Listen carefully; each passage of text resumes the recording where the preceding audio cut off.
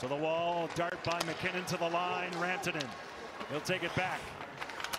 The pass intended for Lehkonen is choked off by Scandella.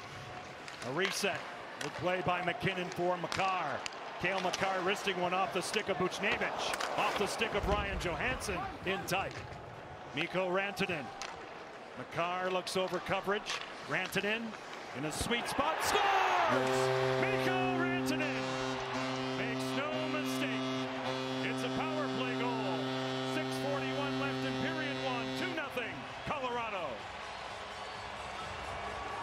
Well, what puts you on your heels right off the hop is when Cale Makar walks the line. From a goalie's point of view, nothing scarier than that. But Buchnevich does a good job of staying in the middle and blocking it.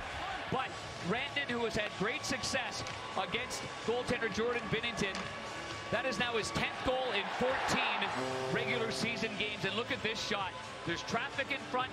Oh, two of them. It's a double side formation right there. And they both slid just by a half a foot. Howitzer. Through center ice. Lose. See it picked off by Cale Makar. Through the slot, the trailer. Lehkonen denied by Binnington. Makar sinks it through the top of the crease. How did Rantanen miss that? Devon Toews goes deeper for Mikko Rantanen out in front. Lehkonen. He scores! Artturi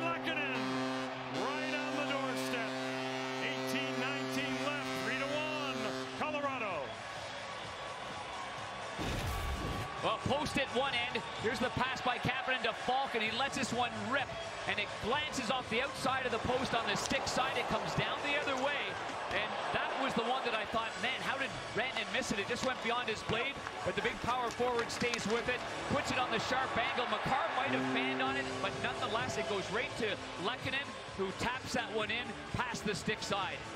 There's a look at the AT&T 5G net cam and Lehkonen good positioning in front all alone for a little too long if you're thinking you're the Blues. But that was actually the third pass that Makar made within a span of a few seconds.